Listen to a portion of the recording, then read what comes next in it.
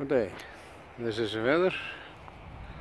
The temperature is about 9 degrees and the wind is at just 1 meter per second.